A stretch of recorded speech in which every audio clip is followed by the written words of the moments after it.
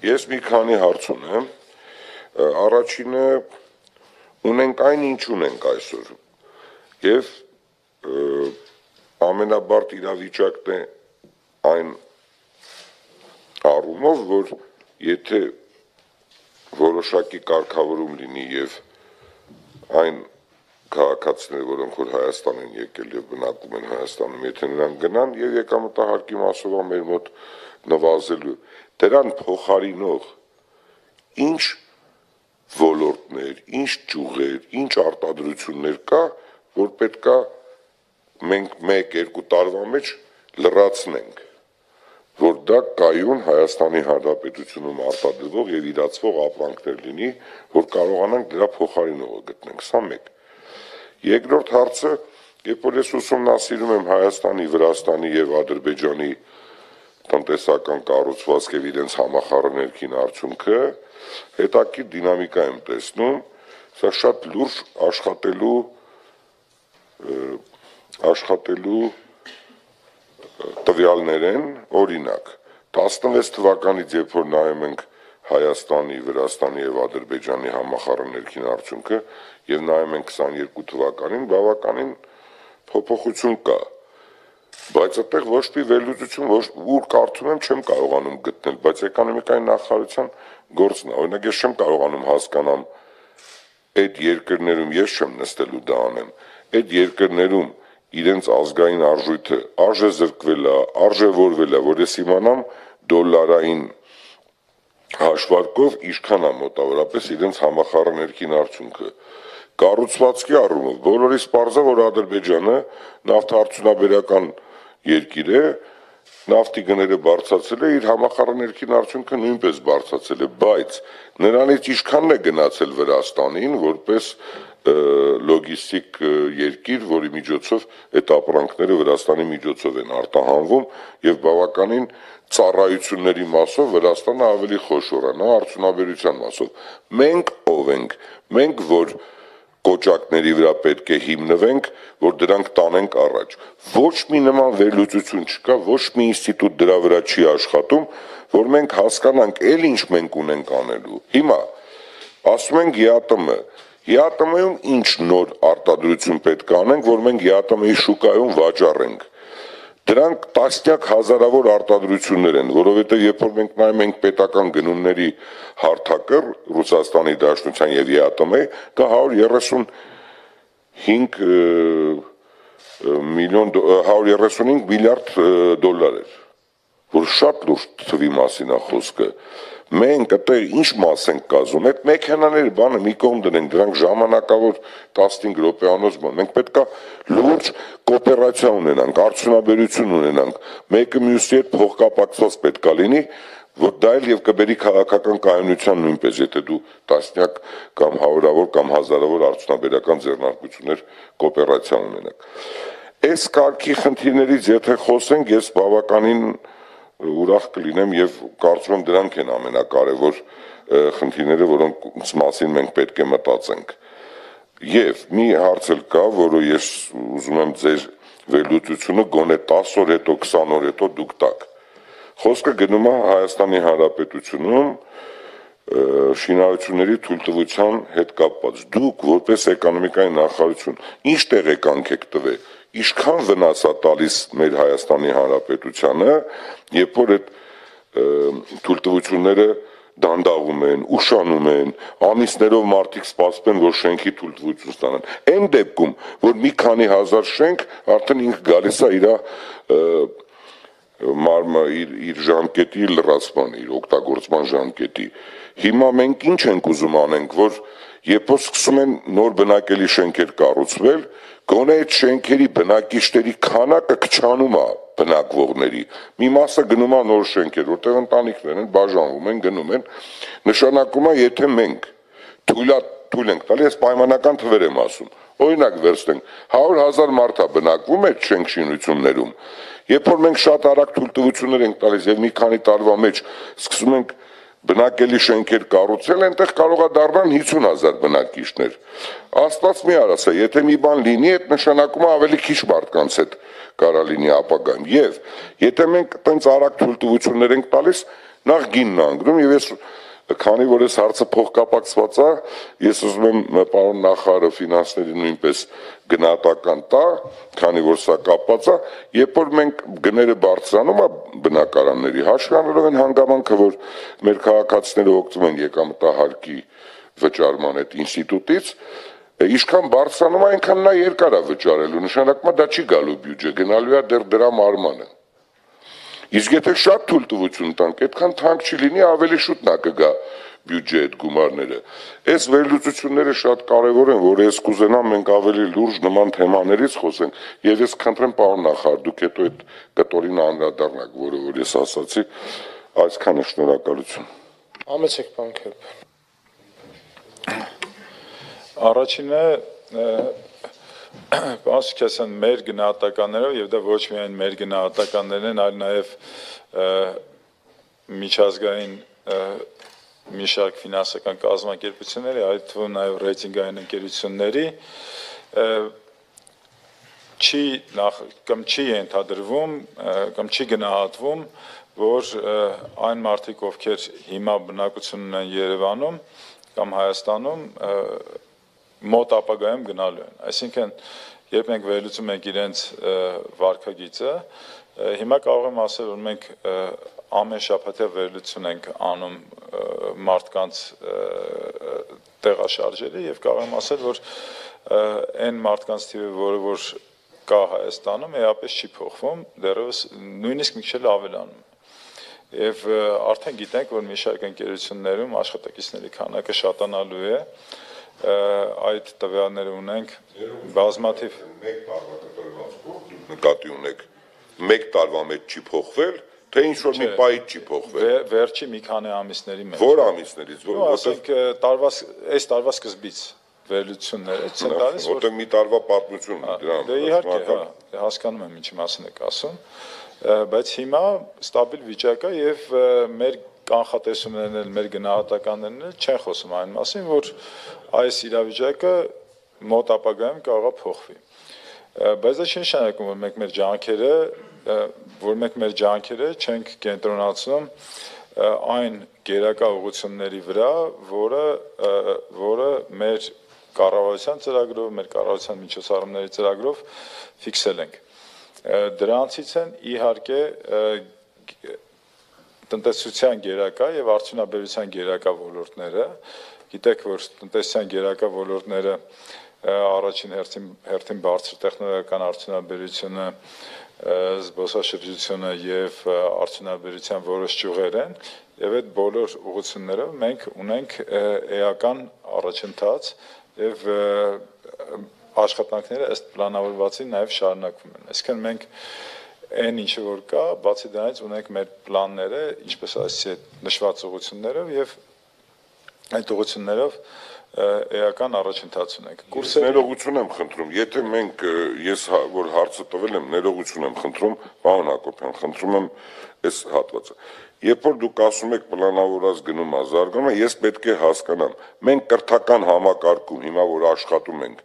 ինչ կարգի ծառայություն ենք մատուցում, IT ոլորտին նկատի ունեմ մենք ապագա 2-3 տարում ինչքան ուսանող ունենք իրանց տալու ինչքան դրսից պետքա գան այդ կազմակերպություններում աշխատեն նկատի ունեմ ասելով որ մեր մոտ շատ լավա լավա լինելու ես ուզում եմ թիվ տեսնեմ ուզում եմ տեսնեմ կրթական համակարգը պոլիտեխնիկնա համալսարաննա կիրառականնա մյուսնա ինչ են տալիս մեզ նոր փոփոխություն կա էս 3 տարում ավելի են շատացել, նոր դասախոսներ են բերել։ Միգուցե այդ կառույցներն են իրենց մոտ կառույցներ ստեղծել կրթական, որտեղ որ գալիս են այդ ճանապարհ անցնել։ Ես խնդրում եմ ձեզ, պարոն նախարար, եթե հնարավոր է, հիմնավոր ասեք, որ հիմա ասելով որ լավ գնում է ինչ որ նույն տեմպերով, իհարկե բոլորս կարող ենք դասել, բայց դրա հիմքում ինչ ունենք Ինչքան ենք ավելացնելու եւ ինչա պետք ավելացնելու։ Միգուցե ֆինանսական միջոցապետ, միգուցե դոնորներա պետք գտնել, միգուցե կրթական համակարգումա պետք բարեփոխումներ անել։ Շնորհակալություն։ Սա խնդրում եմ մեծ ձևով գնանք։ Հակառակ է այն ոլորտը, ոչ է կրթությունն այն ոլորտը։ Չէ, դուք եթե ձեր ոլորտը չի դուք եք ասեք 49.1% աճ կա։ Ես ուզում եի հասկանալ այդ 41%-ը ուզում եի հասկանալ մարդկանց թվականակի աճա, ծավալների, որ ծավալ չկա Հայաստանում, հա, տենց բան գոյություն չունի, որ ասես այսքան միլիոնի IT արտադրանք տրվեց։ Եթե տրվել է, Բա հենց է դա կա։ Դուք չեք տեսնում, որովհետև դա բոլորը արտահանվում է այդ ծառայությունները, հա։ Այն ծրագրային ապահովում են նոր ծրագրեր են, նոր ընկերություններ, Չեն ծրագրերը են ընկերությունները, որոնք Հայաստանի Հանրապետությունում են գրանցված եւ իրենք վաճառում են Հայաստանի Հանրապետությունից որպես իրենց սեփականություն, իհարկե նրանք արժեք ունեն։ Նրանք, որոնք որ աշխատում են որպես մասնաճյուղ այստեղ եւ տալիս են Ամերիկայի Միացյալ Նահանգներ կամ Գերմանիա, իհարկե նրանք գումարային ոչ մի բան չի գրանցում։ Միայն ստանում են աշխատավարձ, ինտերնետ ծախսն են վճարում, վարձով տրվող տարածքի համար են վճարում։ Ուրիշ վճար չկա, եւ եկամտահարկ են վճարում պետությանը։ շուկայի 95%-ն է, որովհետև Էսի մասածն է 95%-ը, 5%-ը նա է, բայց ոնց է ասում 49-1։ Դե հենց այդ ծառայություններն են աճել էլի 49%-ով, բայց իմ ասածը հետեւյալն է, նույնիսկ այն ընկերությունները, որոնք են, Եկամտահարկն է 49-1-ով չէ, աճել։ թողարկումը Ինչի թողարկում ներողություն։ ծառայությունների ծավալը չի գրանցվում, գին գոյություն չունի, Դե- տենց արժեք չկա, տենց հարաբերություն չկա։ Միջև անգամ ես խոսել եմ մի քանի ամերիկյան կազմակերպության հետ, ասել են, եթե հանգարց օրենք փոխեք, ապագայում ապագայում պետք է մտածենք ոնց ենք արժևորելու, ինչ ծավալի, ինչ գումարի աշխատանք է կատարվել Հայաստանում, որտեղ դա տաս- տասնյակ երկրներում կատարվող մեծ աշխատանքի մի մասն է։ Մենք պետք է գնահատենք դրան ինչ արժեք տանք։ Շնորհակալություն։ Պարոն Սքեսյան, եթե մի միջազգային ընկերության հայաստանյան դուստրը աշխատում է, ինքը այդ իր ամեն ամսվա արած աշխատանքը վերջում ինվոյս է գրում եւ ուղարկում իր գլխավոր գրասենյակին եւ այնտեղից վճարում ստանում։ Ֆորմալ հաշվապահական տեսանկյունից դա ծառայությունների արտահանում է։ Իհարկե ծառայությունների իսկական գինը կարող է անգամներով ավելի բարձր լինի, քան ինվոյսում գրած գինը, բայց այսօր մեր հաշվարկի մեխանիզմը դա է, այսինքն նույնիսկ այն աշխատավարձը, որը որ փոխանցվում է Հայաստան մարդկանց համար, Ապրեք, ինձ գին կասեք ծավալ։ ասեցի, Չէ, չէ, ծավալ, քանի միլիարդ է դա։ ճշգրիտ թիվը հենց հիմա չեմ կսխալվեմ ասել։ 7 միլիարդ է, 3 միլիարդ է, 11 միլիարդ է։ Դա, ը, Մի միլիարդ էլ չկա։ Ոնց մի միլիարդ չկա, մենակ VMWR-ը ամեն տարի 1 միլիարդ 200 միլիոնի product է տալիս, բայց դա չի գրանցվում։ Դոլարի։ Չէ, գրանց ես ասում այն ինչ է։ չկա, դրամ լավ շնորհակալություն։ հա։ Կուրսերի վերաբերյալ գիտեք որ դե այս շատ པարս տվյալները դրա վերաբերյալ առանձին վերլուծություն անելու կարիք չկա։ Հայաստանի կուրսը բոլորս գիտենք, կուրսերը դրամային, Ադրբեջանը ֆիքսված կուրս է, իսկ Վրաստանում որոշակի բան ա եղել լարի արժևորում ա եղել չնայած մենք ռեգիոնալ մակարդակում շատ տարբեր տեսանկյուններից համեմատում ենք մեր երկրները, բայց կոնկրետ Հայաստանի զարգացման տեսանկյունից Ադրբեջանի հետ համեմատվելը մեզ ոչինչ չի տալիս։ Մենք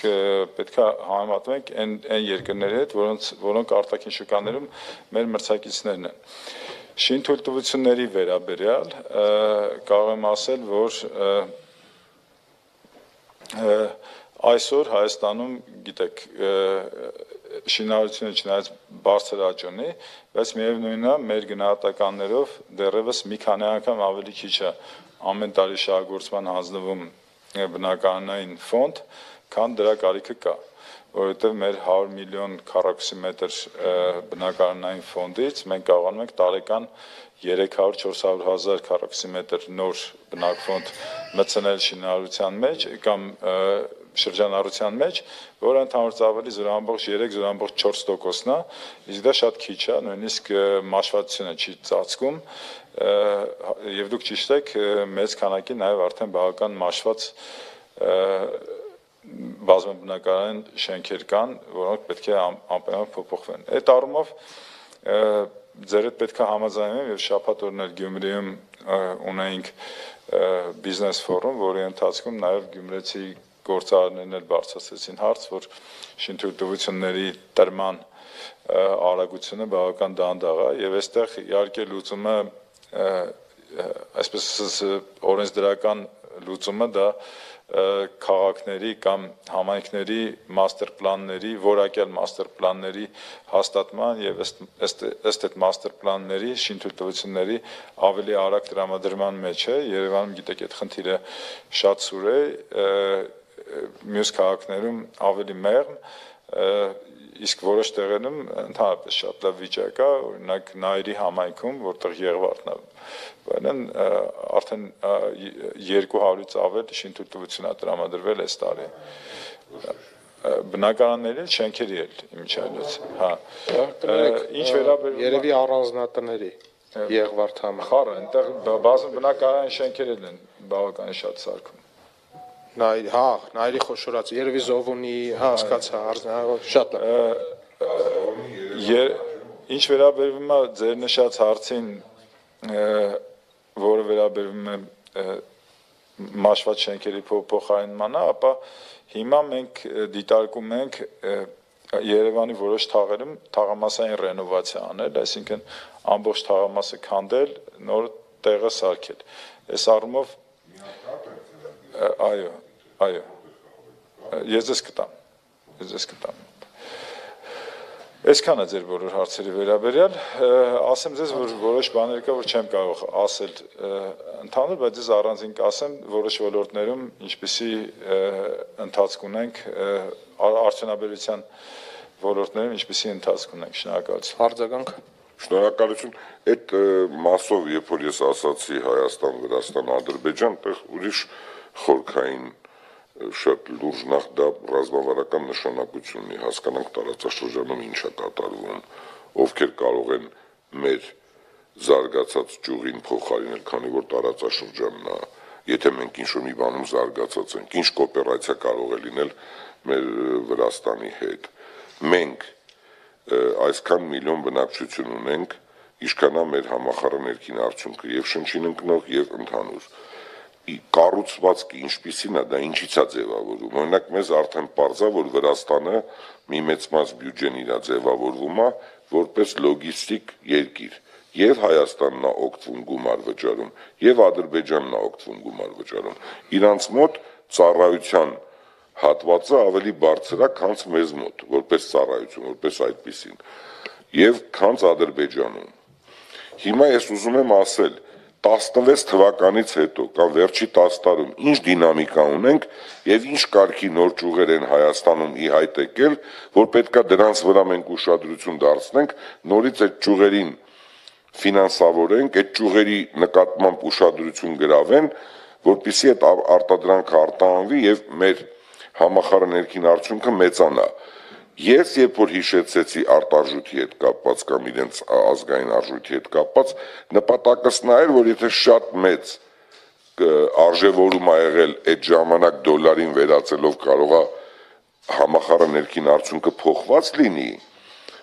դա էլ հաշվի առնենք։ Դա էր նպատակը, երբ որ ես հիշեցրեցի դա։ Հաշվի առնելով այն հանգամանքը, որ երկիր կա արժեզրկվել է, երկիր կա արժևորվել է, արժևորվելու դեպքում երբ որ դոլարի ես վերածում բարձրանում է իրանց չափը, այդ չափի բարձրացման արդյունքում ճիշտ չի երևում իրանց իրական արտադրանքի եւ իրական ծառայությունների հատվածը շնորհակալություն սա Հա, մենք իհարկե դեռևս կարծեմ Վրաստանի տվյալները չկա տարեկան համախառն ներքին արդյունքի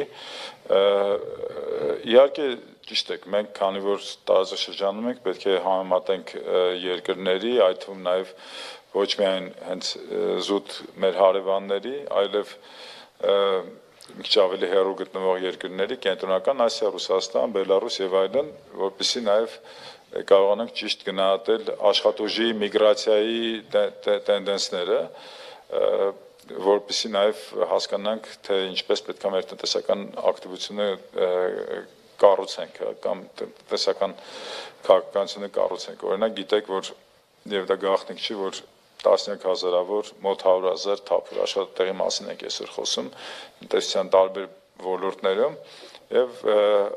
պետք է նաև հասկանանք, թե որ երկրներից կամ ինչ